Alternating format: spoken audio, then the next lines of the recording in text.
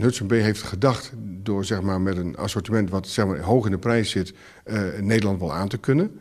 Maar nu zie je maar weer dat die consument uh, de, eigenlijk zo'n formule weer terugroept. Nou, de consument gaat naar eh, de bijenkorf, die, hoog, die in een hoog segment uh, zit.